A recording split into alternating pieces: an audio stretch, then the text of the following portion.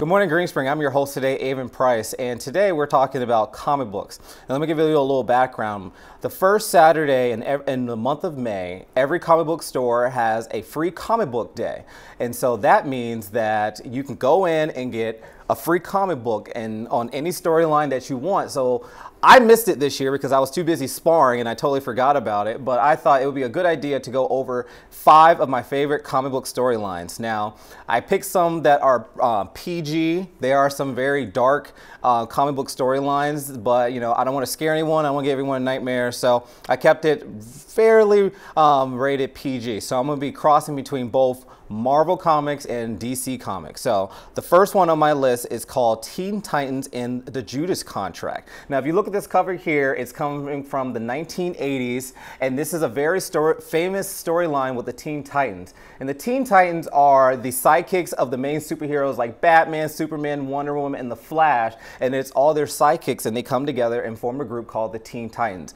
And this comic book storyline is very famous for, very, for various reasons. If you go to the next picture, you'll see this picture. It's kind of small, but it's the best one I could find of this particular issue. It's Nightwing. And if you remember from previous episodes, Nightwing is Batman's first sidekick and his own persona as a new superhero. So in this comic book was the first debut of the Nightwing superhero name of Dick Grayson and if you look at the costume, it's not my favorite costume, but it's a very famous costume and how it has the feather looks and all the multicolors. So that is a, um, one of the reasons why this is a very well-known comic book is because the debut of Nightwing, the Nightwing character. The next photo, you see the kind of the main storyline. And the main storyline is the person to the left is named Deathstroke.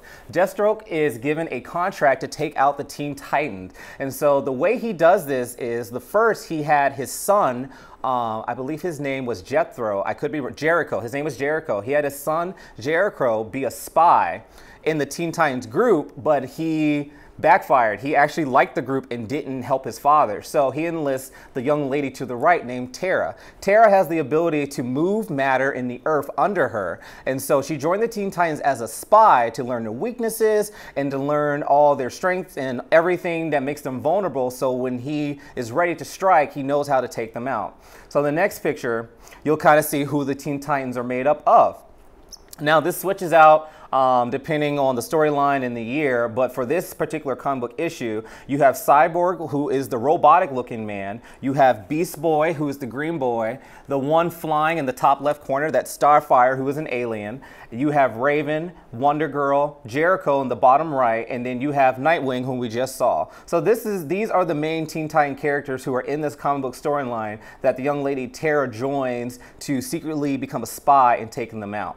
So as you see in the next picture coming up, this is the more updated version. So they recently created a movie of the Judas contract of the characters to promote this storyline. And so you see Tara to the right, the one in black and red is Nightwing, Starfire, Beast Boy, and a new character called Beast Boy. So this is kind of the lineup for the new generation of this storyline. So the next couple pictures I have are just pictures of you seeing the comic book story and the fight between Tara and Raven. And if you keep going for the next two, you just see different photos of them fighting her and Slade as they're coming. And this is a very well-known storyline because it's very emotional. And this is the first time that these teenagers face a true betrayal within their team team and their teammates. So it's a very good storyline. So if you're ever out there looking for a comic book for your grandkids, your great grandkids, this one's relatively rated G and I think they'll enjoy it. So the clip I chose is from the recent movie Teen Titans and the Judas Contract of when Deathstroke, the assassin, fights um, Nightwing after Nightwing has discovered all his teammates have gone missing. So let's check it out.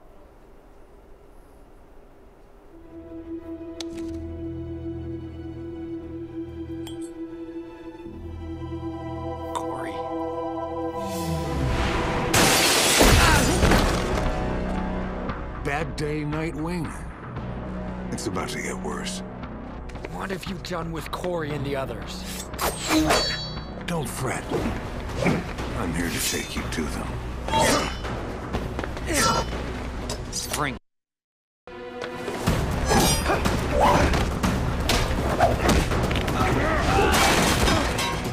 Akito needs work. Your space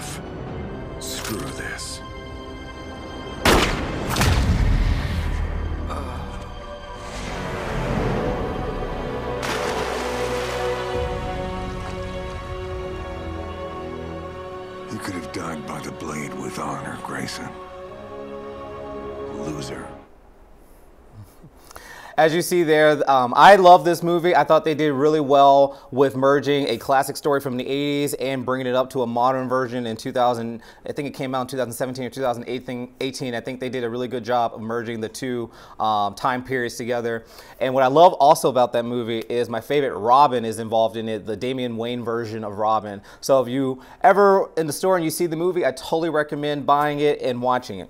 So the next um, comic book story I want to bring up is called Planet Hulk. If you're not familiar, Planet um, Hulk is the green monster Bruce Banner when after doing gamma ray experimentation gets hit with a huge overdose and he becomes the infamous Raging Hulk. And so Planet Hulk is the storyline of when Earth got totally tired of Hulk breaking everything. And so if you see, the, and so after they shipped him to another planet, he ended up somewhere way beyond the galaxies and he becomes um, a warrior gladiator on this other planet. So if you go to the next picture, you'll see some pictures of him in his uniform. So this is the infamous look of him with his helmet and then he has a shield and a staff. And even though he's brutally strong, they still give him weapons. And so he becomes a gladiator for this alien planet uh, as he's being abused and um, taken captive. So just keep turning pictures, you'll see. And what I wanted to bring up is in the recent Marvel movie, the Thor Ragnarok movie that came out maybe about two years ago, they reference Hulk because in the Marvel movies, he disappeared. So this storyline is still very new. I think it came out around 2009. And so as you see, Hulk just totally is a gladiator within the strange planet. And eventually he breaks loose, becomes king of the planet, and starts ruining the planet. And so I think things turned out for him pretty well. So even though the Earth didn't want him, he still hulked it out and made the best of it. So the clip I showed, I picked from it, is from um, the animation version of Hulk, um, Planet Hulk, and this is a scene when he's fighting Beta, Beta Ray Bill. And if you don't know who Beta Ray Bill is, Beta Ray Bill is kind of a twisted version of the character Thor. So he has the same hammer like Thor, looks like Thor, but he's kind of an animal looking creature. So he's super strong and super a uh, good fighter. So let's see what happens when they both um, meet each other. Hulk, I know of you. The halls of Asgard echo with tales of your rage. They ain't heard nothing yet.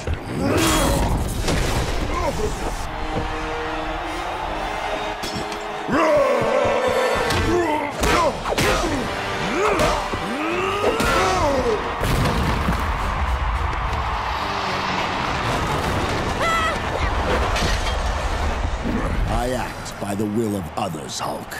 The disc in my chest and in yours demand that one of us must die. You have my sympathy because it will not be me!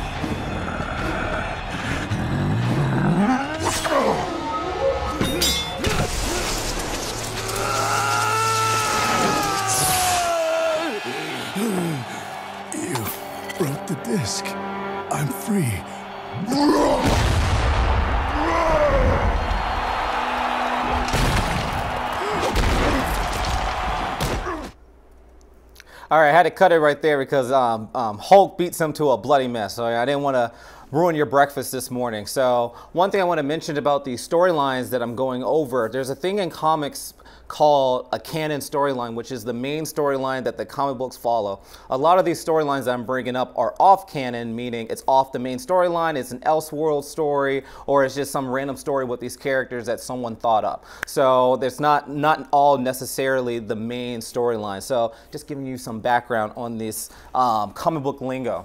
All right. So the next storyline I have is the Dark Phoenix. Now, if anyone knows me, my favorite group of superhero team that comes together is the X-Men. I love Justice League, I love Teen Titans, but the X-Men is my favorite. Just the idea of a bunch of superheroes with different powers coming together is a wonderful idea. So the Phoenix storyline um, is one of the, my favorite stories of the X-Men. If you go to the next picture, to understand this, we're gonna have to go slow with it. So first of all, it starts off with the main character, Jean Grey. Jean Grey is already a high um, powered superhero. She has the ability of telekinesis, um, telepathy. She has the ability to move matter and to manipulate matter on her own. She is highly ranked in the in the in the mutant category as an omega level mutant, and so she's already a powerful mutant on her own. And so next picture is you'll see her lover is Scott Summers. They have a very strong bond with one another. They were both um, adopted into the Xavier Institute or the house that they grew up in to become this mutant team, the X-Men. They are the, they are the original members and they are lovers. And because Jean Grey has a telepathic powers, their love is actually really stronger than the actual normal human being because of her telepathic powers. And so that's very essential within the Dark Phoenix storyline.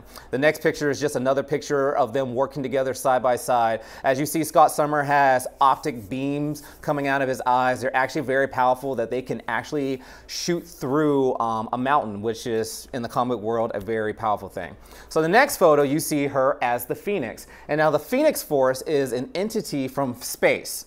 Um, one day when they were on a space mission, they were trying to save an astronaut crew where this cosmic energy, which is the fire, which is actually a living energy called the Phoenix Force, comes and dwells within Jean Grey. So as you can say, she is possessed by an alien Phoenix Force. And the combination of her high power already and this alien force creates the Phoenix. If you see her in this green suit, you know that she's on the good side. But what happens is when she turns red is that the alien within her or the force within her starts loving all the human emotions that we enjoy. You know, even though we don't promote violence, there is a thrill in the human emotion that enjoys violence. So there's things that she's never experienced through the Phoenix Force that she uses Jean Grey's body to experience. And so with the Phoenix Force, she is ranked as one of the top three powerful mutants in the whole Marvel universe. So that tells you how ranked she becomes in this universe.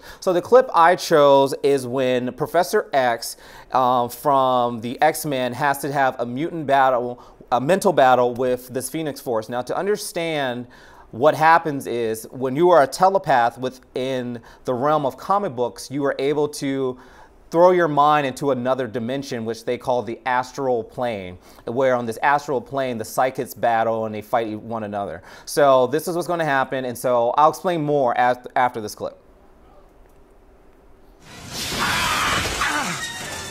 You once told Jean Grey that the greatest joy a teacher has is to be surpassed by his own pupil. Enjoy! Stop! I won't allow you to Halfway enter through. my... Ah!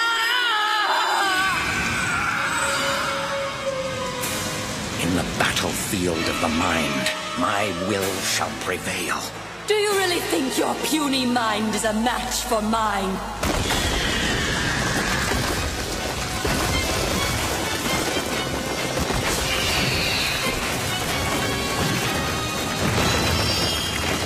Because you once used the power of the Phoenix to bind the M'Kraan crystal, I now bind the Phoenix with the power of...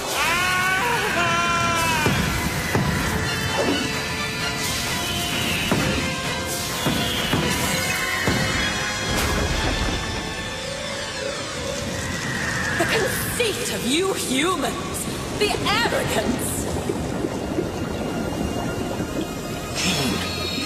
If you can hear me, help me.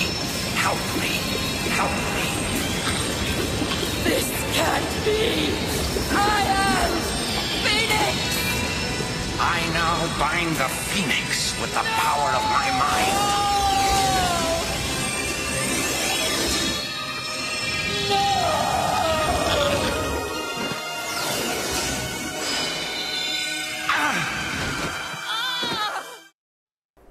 So what's really powerful about this storyline is that it's the X-Men fighting a beloved X-Men member. Cyclops, as you saw in the beginning when I was talking about her love interest, he has to make the harsh decision of I have to fight at the time my wife and try to stop her before she kills the planet. Now there's more things that happen in the storyline that even though they mentally block the power within her, she destroyed another alien sun, and so that alien race comes and captures Jean Grey and holds her prisoner and tried to kill her, you know, based off a trial that they held for her, and they said she was sentenced to death. And so the X-Men try to fight on her behalf, and it reawakens that Dark Phoenix within her. So it's a very famous storyline within the X-Men comic book um, of the of just how tragic it is to have to fight against another team member. So moving on. Now, if you know anything about me, I'm going to have to mention Batman. I had a lot of uh, stories to choose from, but I chose to choose The Killing Joke because, in my opinion, is one of the most menacing stories. And The Killing Joke has many different um, highlights in it that make it a very famous storyline.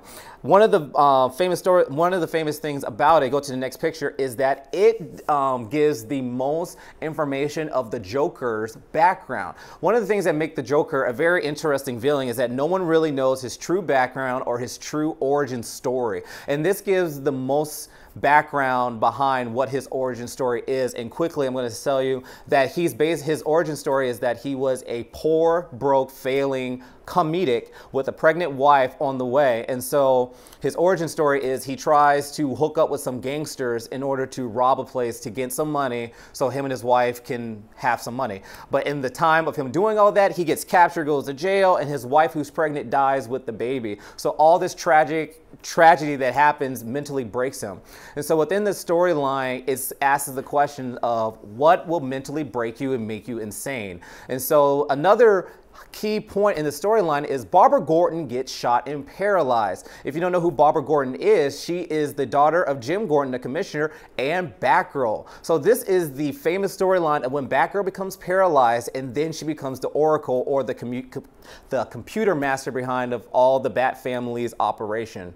And so the next picture is where it gets really dark. The Joker kidnaps Jim Gordon, and then he psychologically, psychologically tortures him. He strips him naked and then surrounds him with pictures of his daughter as she's dying on the floor. And so his main quest is to prove to Jim Gordon that all it takes is for one moment to make everyone mentally snap. So that is the main gist of the of the um, Killing Joke. They made a movie about it three years ago, and I have to say the movie was awful. They didn't do they didn't do it justice like the comic book. The comic book was way better, but it just didn't translate properly into the movie. And I have to read something to you. Um, I read some kind of uh, report from the writers and kind of like a literature um, analysis of this book because it's a really well-known story within the comic books um, comic book world. And it says the book explores Moore's um, assertion that psychologically Batman the Joker are mirror images of each other. By delving into the relationship between the two, the story itself shows how the Joker and Batman come to terms with their respective life alternating tragedies, which both eventually lead to their present lives in confrontation. Critic Jeff Clark further explained that both Batman and the Joker are creations of a random and tragic one bad day. And this whole thing of one bad day is something as a theme within this storyline. Batman spends his whole life forging meaning from the random tragedy, whereas the Joker reflects the absurdity of life and all its random injustice. I just thought that was a good kind of um, analysis of the storyline. And like I said, the storyline is basically Joker trying to prove to Batman and Jim Gordon that All it takes is one moment to make you snap. And at the same time, Batman is considering, have I really done my part to try to help the Joker? So, because I don't want to be like him. So the Batman is, is fearing that one day he might actually turn into the Joker. So the clip I chose is kind of short, but it shows Batman reaching out to Joker instead of punching him in the face. So let's look at it.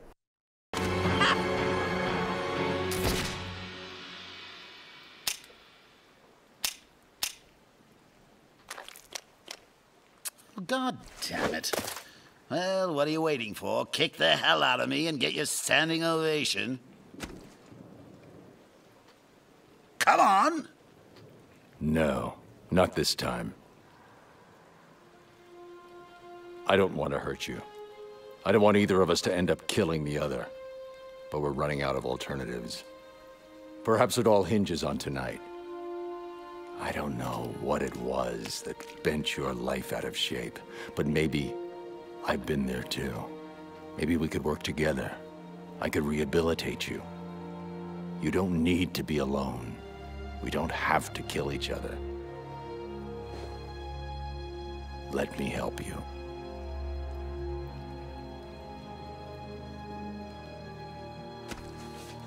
I'm sorry, but no. No. It's far too late for that.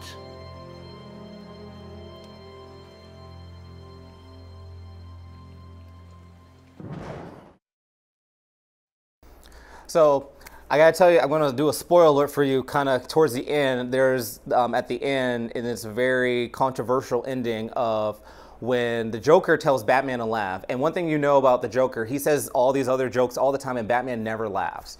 And so the Joker tells Batman a joke, and then Batman actually starts laughing with the Joker. And within the comic book, as they're laughing together, the comic book drawings pan to the ground and stuff, and it leaves only Batman laughing. And the last time you see Batman is moving his hands towards the Joker's neck. So it causes the issue of did Batman kill Joker? Did he choke him out? Or did Batman just have the last laugh? Did Batman finally turn into the Joker? So it's actually a very debate like people have debates about the storyline. I'll say when i went to comic-con way back um, what was it maybe four years ago we brought up this issue because um, they were handing out the you know the books for the killing joke. And i remember me and this random guy started talking about did batman kill the joker? I said no because batman doesn't kill and then they used the storyline for the canon storyline so joker was later there so i don't think he killed him but that's for another debate. I need a real comic book person to be here in the chair with me for us to have this debate.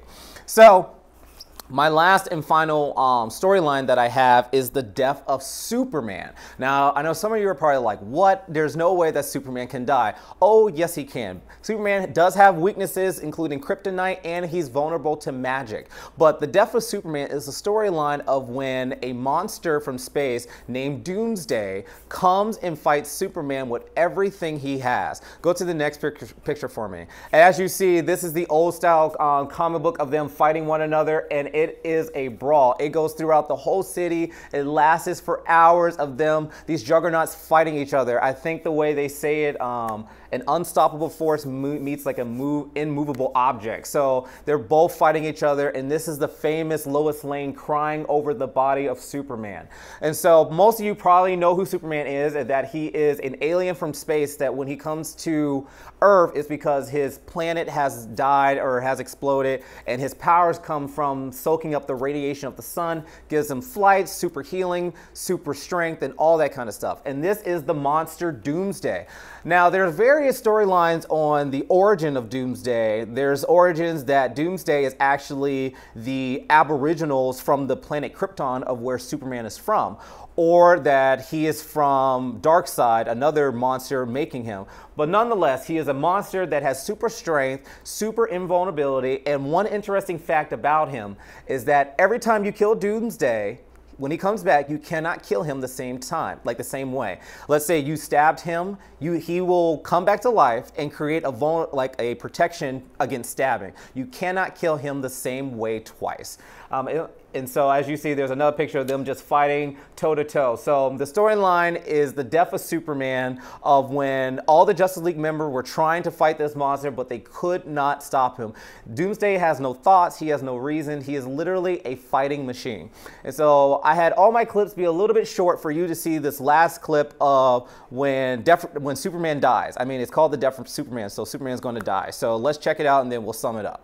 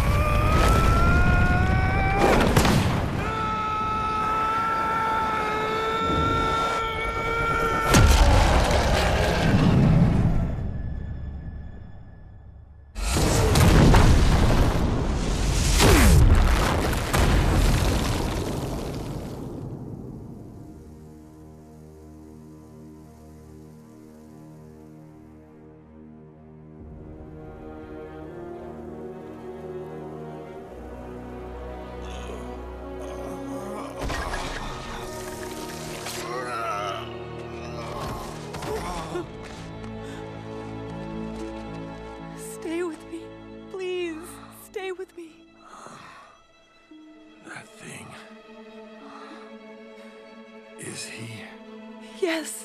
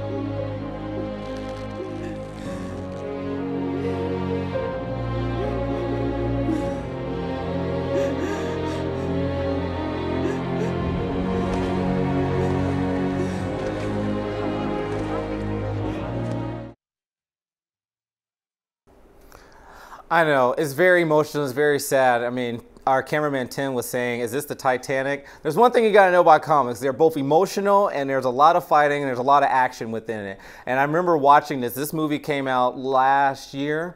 And I remember watching it, and I'm like the entire time, oh, Superman, don't die, but yet it's called The Death for Superman. I think it's a very well done movie. I highly recommend going, seeing it, and reading the comic book. There's been several iterations of The Death of Superman. There was one that came out way back in 2005, around then, and then, of course, the Batman versus Superman movie. Um, came out and then it showed kind of this, the kind of touched upon the death of Superman with the Doomsday. But this animation that came out last last year is the best rendition of this storyline. And like all things in comic books, they are not dead for real. They always come back one way or another. I was telling my coworker uh, Terrence that death in comic books is like taking a nap. You're going to come back one way or another. Except Gwen Stacy and Spider-Man, they kept that one dead. But anyways, I hope you enjoyed some of my list of my favorite storybook um, comic book storylines. And if you have anyone that you like, come and tell me and we can debate about it and we can see which one is better.